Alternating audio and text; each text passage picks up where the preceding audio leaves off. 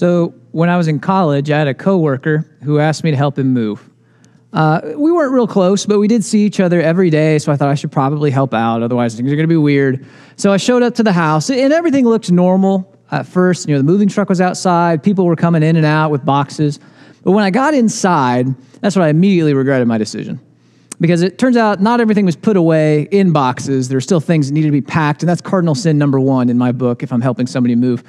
But what was more disturbing was all of the white stuff that just covered the floor of every room. You see, this couple, they had this, this little dog with this white, poofy fur, and I don't know what kind of a breed it was, but it must have shed profusely because they're just these little tufts, these little tumbleweeds that just like blew across the floor like tumbleweeds on a prairie, and like, or, or if, and this was this is kind of a gross uh, comparison, but if you've seen Frost, you know, like that first frost, you look outside, everything's just got this white kind of cover to it. That's what their floor looked like, just like white everywhere. It was gross. And frankly, I wanted to leave, but it was too late because I'd been spotted and I couldn't just be like, uh, no, see ya. That's not very nice. So I stayed and I just sucked it up.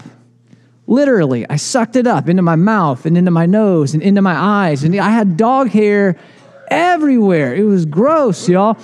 And then a few days later, after they had time to like unpack and settle in, they were really nice and they invited everybody that helped them move over for pizza to express some gratitude. No, mm, no, thank you. I, I declined the invitation. I wasn't going to set foot in the house, let alone ingest something into my body, knowing that that little white monster still lived there and was just, just fur everywhere. It wasn't going to happen. If you want to enjoy my presence in your home, keep it clean. Pretty simple.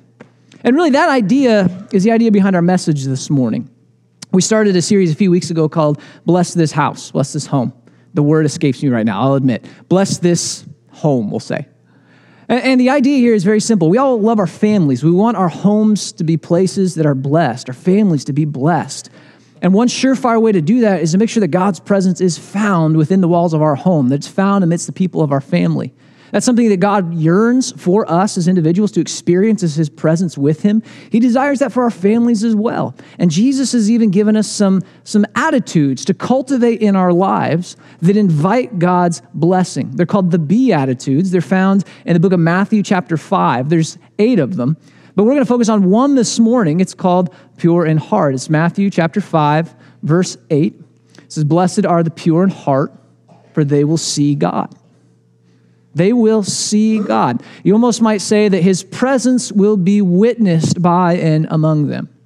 And that's a powerful concept. It's a concept that's found throughout Scripture. And in the Old Testament, especially, God's presence is oftentimes associated with purity. We take a psalm, for instance, Psalm chapter 23. It goes like this in verse 3 It says, Who may ascend the mountain of the Lord? Who may stand in his holy place? You need to understand that in the Old Testament world, mountains were considered to be holy places. That's where God's presence was found. And we see this in the Old Testament of the Bible as well. There was Mount Sinai, where God appeared to Moses on top of the mountain. The Israelites, before they entered the promised land, they made a covenant on Mount Gerizim, this important mountain. Uh, Elijah and the prophets of Baal, they met on top of Mount Carmel. There's a mountain there. Israel and the temple was built on top of Mount Zion. Like mountains are important places. So basically, the psalm is saying, Who can stand in God's presence? It says, The one who has clean hands and a pure heart, who does not trust in an idol or swear by a false God.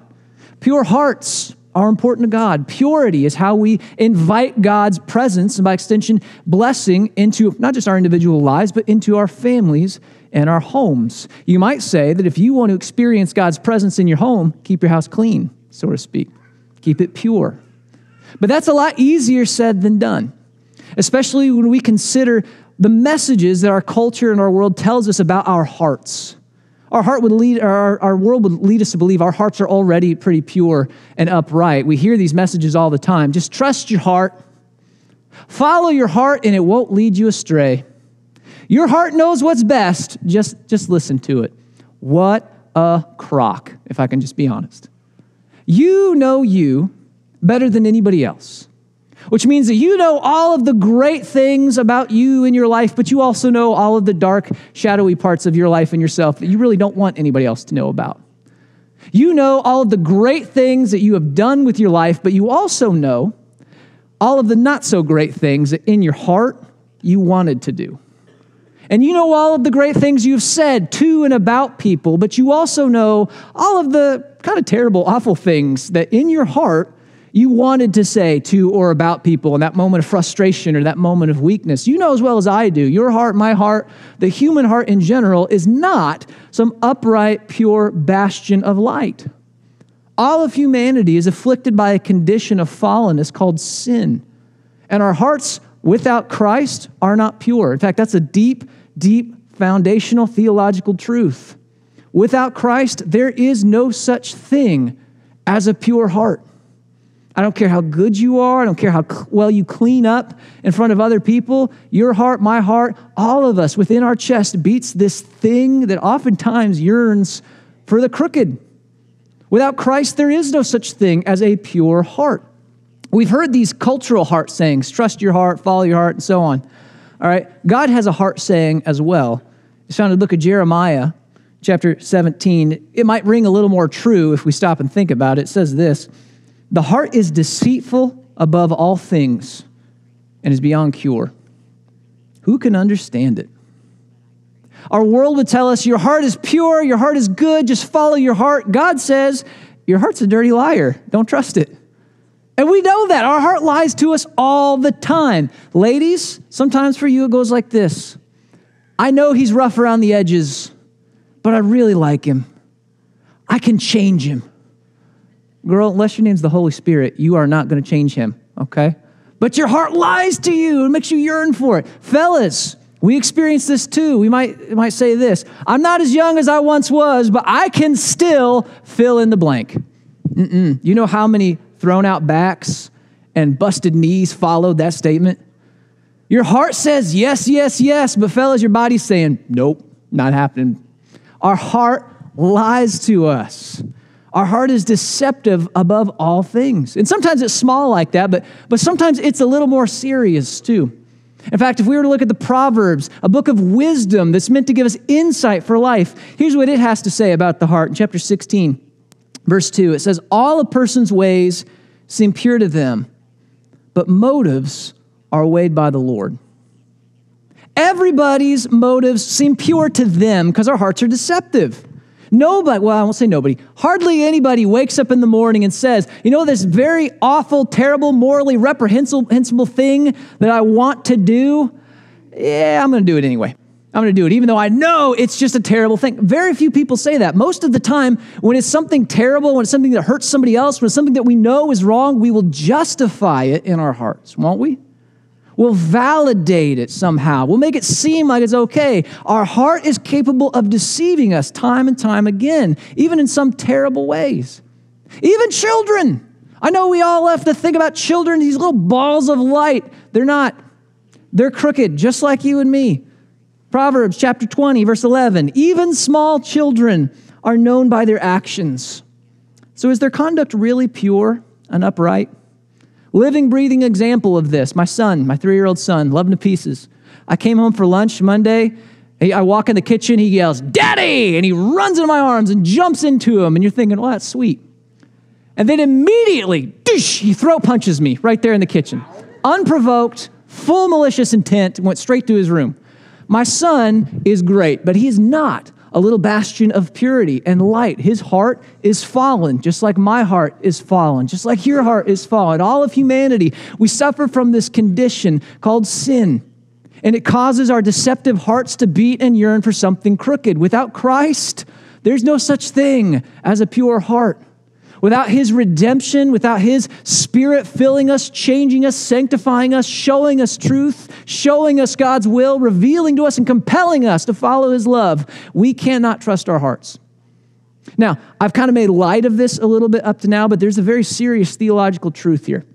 We read about it in the book of Ephesians, chapter 4. And we're going to spend quite a bit of time in Ephesians this morning. So if you want to open up your Bibles and follow along, this would be a good point to do that. Ephesians, chapter 4 is where we're going to be.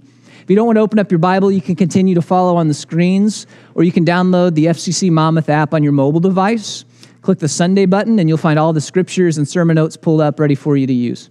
So, Ephesians chapter 4, this is the Apostle Paul, somebody charged by God with spreading the gospel in the ancient world. This is Paul talking about the condition of the heart of those who have yet to be redeemed by Christ, that fallen condition. So here's what he has to say He says, They are darkened in their understanding and separated from the life of God because of the ignorance that is in them due to the hardening of their hearts. Having lost all sensitivity, they have given themselves over to sensuality so as to indulge in every kind of impurity, and they're full of greed. Now, there's a lot to unpack in that passage. We're not going to do that this morning. Instead, I just want to zero in on what's applicable to our subject matter today. There is a condition of the heart here that is responsible for a lot of the other things happening in this passage. It's a hardening of the heart. And this hardening of the heart, it happens after a long time of hearing God's voice and ignoring it, sensing God's call and denying it, witnessing his commands and instructions and shushing them. Over a prolonged period of denying God and ignoring God in our lives and not giving him that, that call and that authority, our hearts begin to grow calloused and hard. Much in the same way that our skin, if it's irritated again and again and again and again, you develop a callus there. And your skin becomes less sensitive to the pain and to the sharpness of whatever irritation is responsible for that. In the same way, our hearts become less responsive to the sharpness of God's truth and God's word. They become calloused. And when that happens, there are some things that begin to inflict us in our lives, and they're listed here a little bit. This passage says that, that such hearts are darkened in their understanding. If you've ever been, well, you've been in your bedroom, obviously. If you've been in your bedroom with the lights on, it's very easy to navigate. You know where the bed is, you know where the nightstand is, you know where the pile of laundry is, you know where all the stuff in your bedroom is. And as long as the lights are on, you can navigate that pretty easily without running into anything. But when that room is darkened, your field of vision goes, and you can see maybe a foot or two in front of you. And it's not always easy to see where the furniture is. It's not always easy to see where the pile of laundry is. It's not always easy to see the hazards in your own bedroom. And so you end up just kind of groping around in the darkness, hoping you don't stub your toe and break it at 2 a.m. And that's kind of what happens in life. When we have God's truth illuminating this world around us, we can see the twists and the turns. We're not really taken by surprise when things start to unfold. We know how to navigate the difficulties of life. But when our understanding is darkened, we begin groping around through life, just kind of hoping we don't bump into anything and invite too much pain into our lives.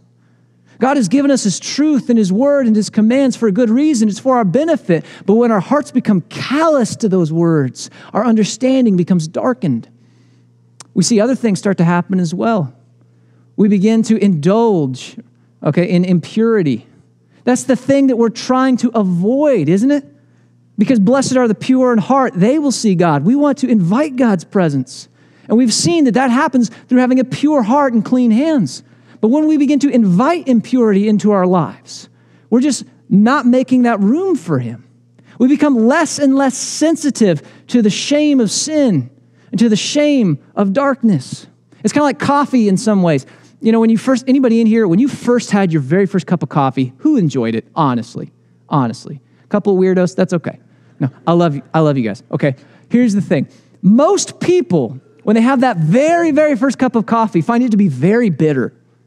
But you keep drinking it. And the longer you drink it, the less bitter it seems.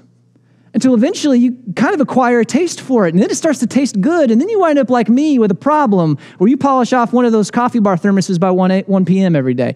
Like, it is a real issue. Okay. We have a support group. You can come join me if you want. Coffee is one of those things you can acquire the taste and then it, it actually seems pretty good. Sin is the same way, and impurity is the same way. When we start to indulge, when we invite it into our lives, pretty soon it stops being shameful. It stops hurting. We might start to enjoy it, and we're just indulging in impurity, as our passage describes. We're closing ourselves off from God's presence and the blessing that follows from that. This is the downward spiral of those who follow their heart and lean on their own understandings our hearts are not inherently good. And we will not build a home that invites God's presence and blessing by following our hearts. We will build that home by following Christ, by building a Christ centered home where His truth and His word and His spirit are the foundations of who we are, not a home that simply tacks Him on the side.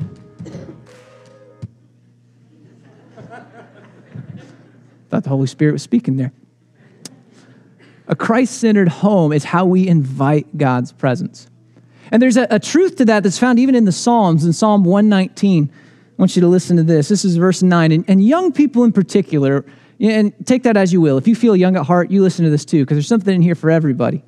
It says this It says, How can a young person stay on the path of purity? By living according to their hearts and following where. Oh, no, that's not what it says at all, is it? How can a young person stay on the path of purity? By living according to your word. I seek you with all my heart. Do not let me stray from your commands. You see, the key to finding this life, this culture of purity, to building that in our own individual lives and in our homes is not by following our wayward hearts that lead us astray. It's by building a foundation on Christ. That is how we establish a culture of pure heartedness in our families. Now, what are some practical things we can do to build a foundation on Christ and start building that foundation? All right, let me give you a few practical ways that we can build a culture of purity in our homes. The first one's very simple fix your heart, get your own heart right first. I know that seems very obvious, but, but sometimes we miss that. We want to build this culture of pure heartedness in our homes, and yet our own hearts we're harboring impurities in them.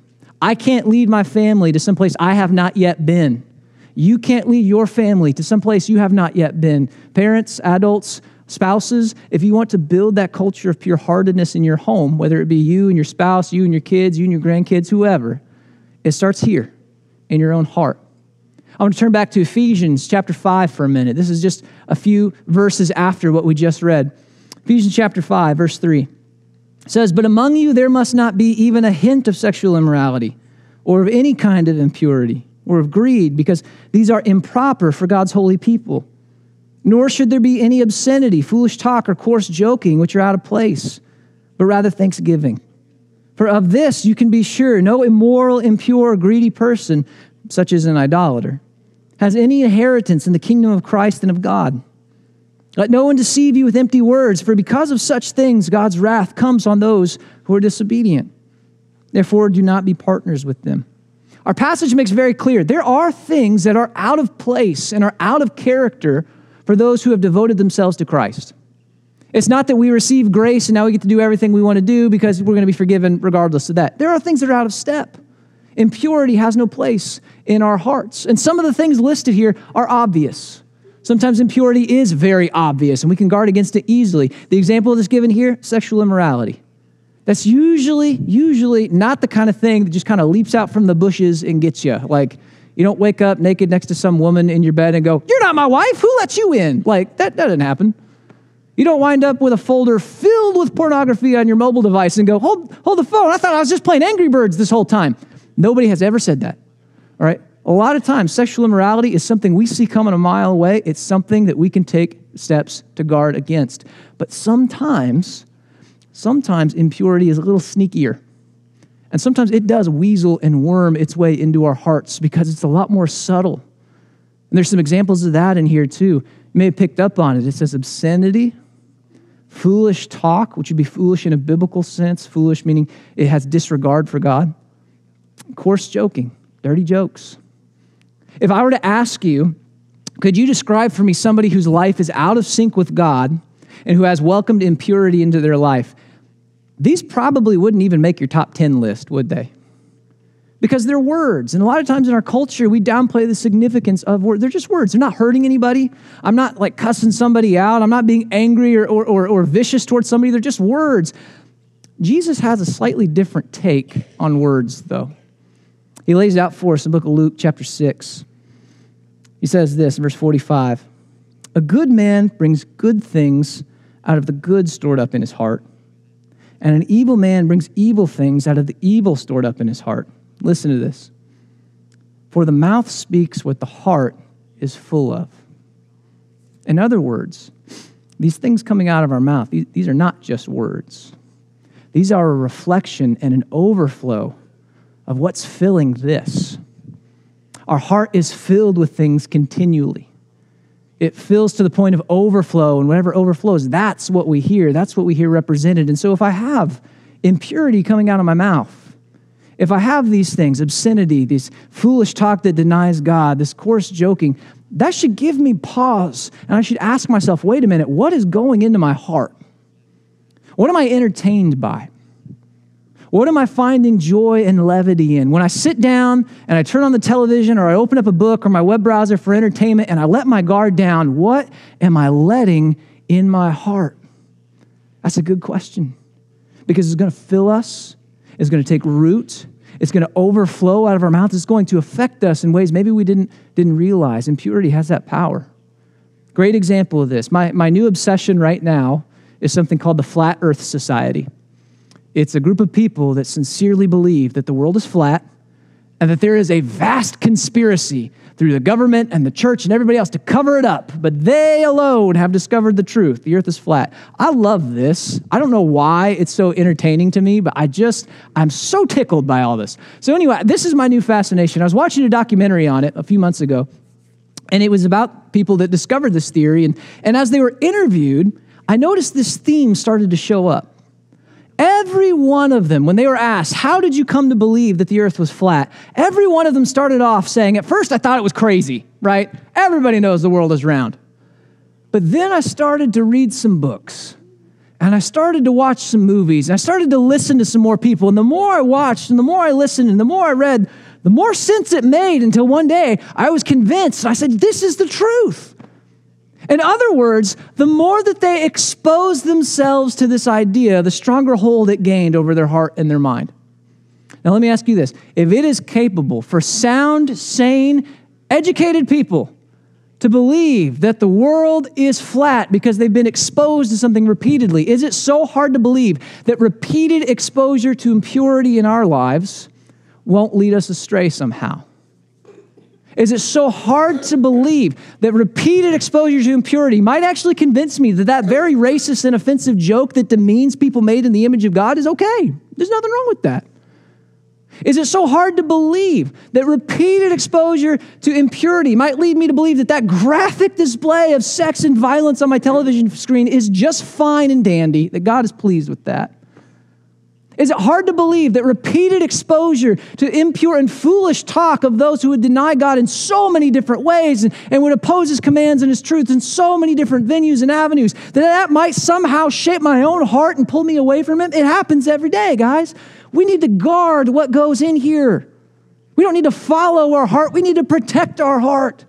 Because what it is filled with will overflow out of our mouths, into our minds, into the ears and the hearts of other people. If we want to establish a culture of purity in our home, amongst our spouse, amongst our kids, we got to protect our own hearts. Because I can't lead them someplace I have not yet been myself. It's very simple. If you want to build that culture, get your heart right, guard it, protect it. Heed the warning that Paul gives us in verse 6. Don't listen to those that would say this is no big deal. But for because of such things, the wrath of God is coming on those who are disobedient. God cares about purity. He longs for you to have a pure heart because he longs to make his home in your heart. Purity matters. That's one. Get your own heart right. Here's a second one, and this one is really specifically for parents. If we want to build a culture of purity in our homes, parents, parent to the heart of your children. Parent to the heart of their children. I'm finding myself falling into this trap lately. A lot of times we've, we've become very focused on behaviors. Do this, don't do that. You can do this thing, don't do this thing. You ought to do this, you should not do that. Okay, we become very behavior focused. It's easy to forget sometimes that behaviors overflow out of our convictions. The state of our heart will go so far in informing the way that we live and act as people. The same is true with children. And Jesus tries to, to instruct us and, and help us realize this through an interaction he has with a group of Pharisees in the book of Matthew, chapter 23. He says, Woe to you, teachers of the law and Pharisees, you hypocrites!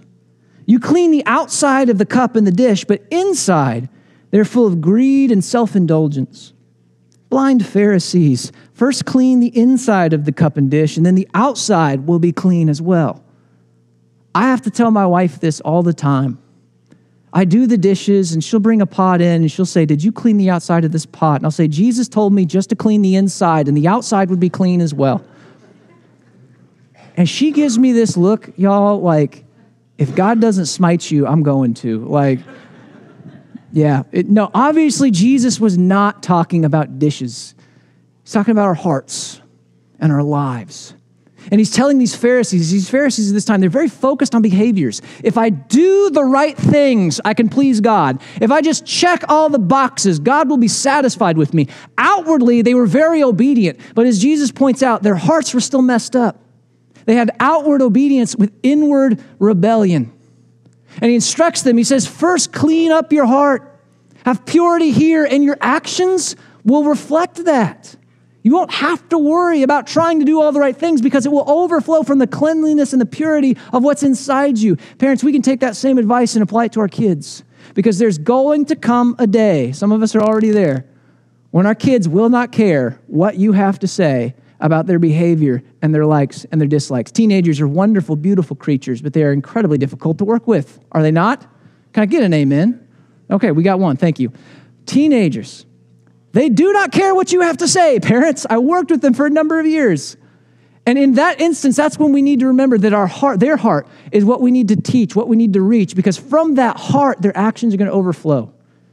And from that day on, they're really not going to be too concerned about what you say they should and should not do, ought, ought not do. But if we can shape their heart, if we can parent to that heart, that's how we will inform their decision making and their behavior for years and years and years to come.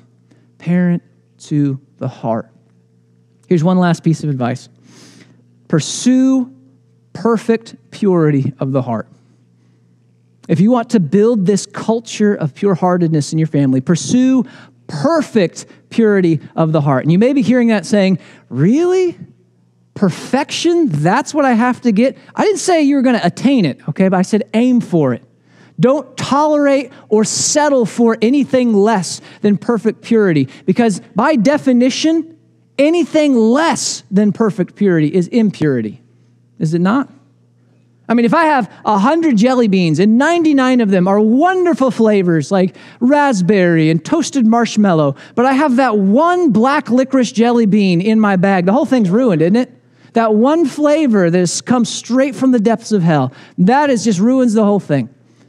No, a little bit of impurity ruins the whole thing. Maybe a better example of this. This last summer, my family and I, we were in the backyard and we were playing outside. I have wonderful, wonderful neighbors, but my neighbors are not always wonderful about keeping track of their animals. And so one of them got into my backyard and messed in my yard, and I found it, of course, right on the bottom of my shoe. And it smelled. So I went to the hose and I rinsed it off, and, and then we just went about our business. But that smell just like lingered and stayed there. And I was getting frustrated because I couldn't find it. I checked my shoes again. I checked my son's shoes. I checked my wife's shoes. I checked my son's pants because he wasn't potty trained at the time. Like I was looking everywhere because that smell was, uh, was infuriating. Finally, I, I found it. On the bottom of my shoe, there's this, this little bitty piece of poop kind of wedged in the creases in the tread that just didn't get rinsed out.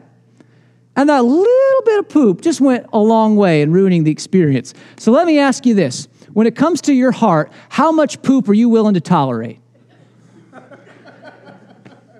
Because a little bit goes a long way, doesn't it? A little bit of impurity will go a long way in tainting the purity of your home.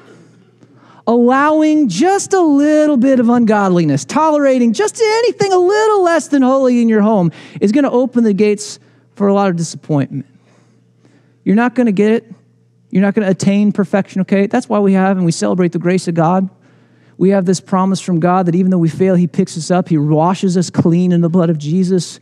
We have this second chance to do it over and to do better. He empowers us with His Spirit to try again and to find success. We're going to have to enjoy the grace of God again and again and again, but that doesn't mean we should settle for anything less than perfect purity in our homes. Now, some of you are hearing this and you're saying, Yes, I want this.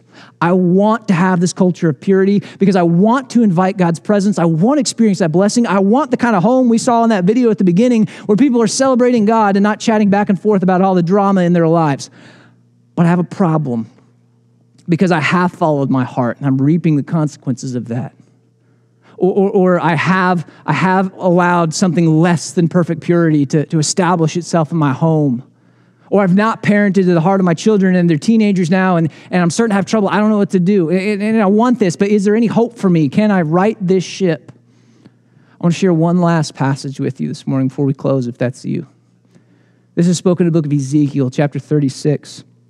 And God is talking to the Israelites, a people who had rebelled against him in every way, a people whose hearts had been hardened and calloused to him and his truth, people whose understanding had been darkened, people who had indulged in impurity, people who had wandered off the reservation. And he speaks to them these words He says, I will give you a new heart and put a new spirit in you. And I will remove from you your heart of stone and give you a heart of flesh. And I will put my spirit in you and move you to follow my decrees and be careful to keep my laws. He speaks this promise to this group of people if they will just turn to him. And that same promise is spoken to us in the promise of Christ. If we just turn to him, not tack him onto the side of our lives and continue to do as we please and follow our hearts, but if we build our lives on him as our Lord and our Savior, if we put our hope and all of our chips into his camp of saying, you're, you're, you're the one, I'm going all in on you, if we build that house on him, there is this promise God gives I will give you a new heart.